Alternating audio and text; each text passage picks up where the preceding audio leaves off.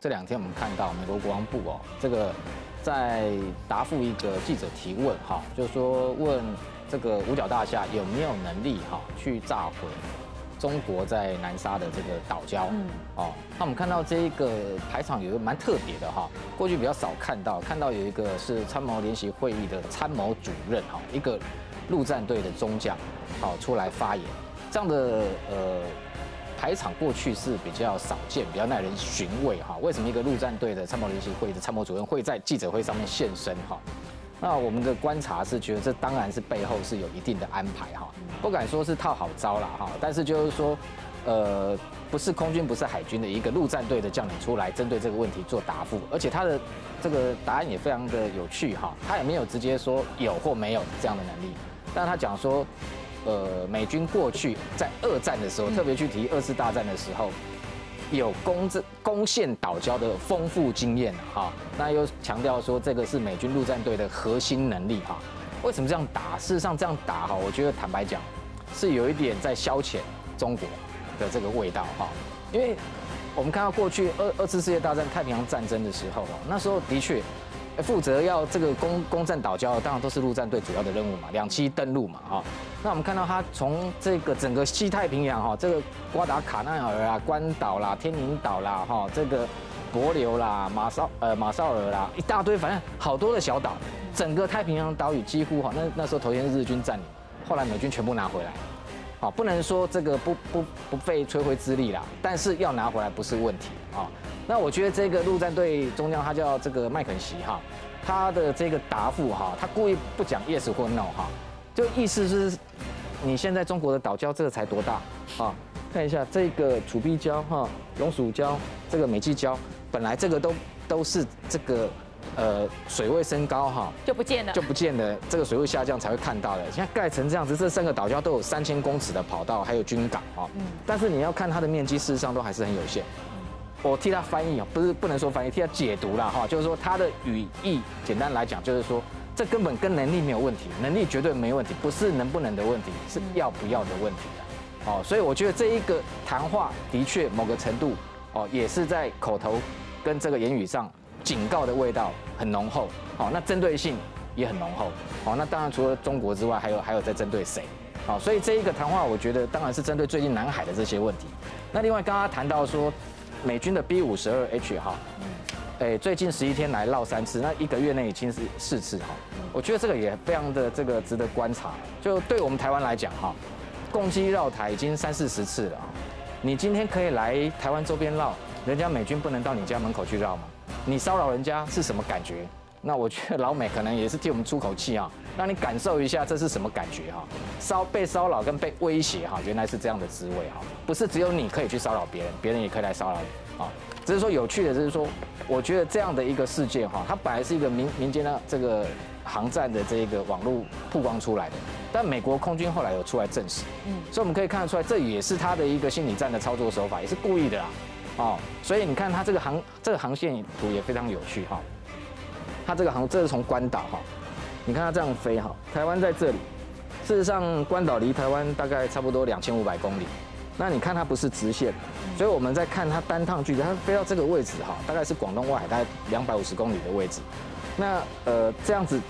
飞的初步这个初估来讲哈，大概超过单趟超过三千公里，往返就是回到关岛这个他们叫安德森基地哈，大概就六千公里。好，那我们看到之前这个中共军机绕台。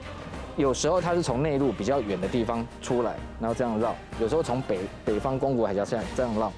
但是你绕的距离哈，我觉得老美是故意要打脸他了，让你看看我可以飞多远啊？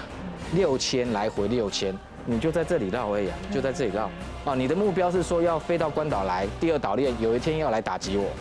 那我现在不用你来打击，我飞到你这里来，你敢不敢打？帮你打打看啊！好，我觉得这个都有这个。同样，他们对中国也是在做心理战，啊，那还有另外一个重重点是说，过去哈，他们这一个美军出来讲说，他们这个叫这个 CBP 的任务哈，持续轰炸的任务，过去有类似的演训，但是事实上过去没有曝光，为什么最近频频让这个航线曝光哈？你看它这个走这个这个呃巴士海峡，就这一块哈，是过去在第一岛链，事实上因为。北面的这个宫古海峡本来驻日有美军，然后还有日本的自卫队，所以这一块他们守得很紧。每次只要军机出来，他们一定都是监控。但现在比较大的一个防卫空窗就是巴士海峡，因为菲律宾我们知道它空军不强，它也不可能去管了，几乎没有空军啦。你讲的是实话哈，但我们不要去，我也不是消遣啊。但是就是说，基本上这一块哈是一个空窗，唯独只有台湾能够守。哦，那台湾现在等于说，因为他们这样频频绕，我们当然我们这个某个程度，我们的任务也很繁重。那老美，我觉得他也是看不下去，某个程度也是在协助啊，甚至他自己的国家利益也是在这一块，所以这个空窗他等于要借这些演训把它补起来。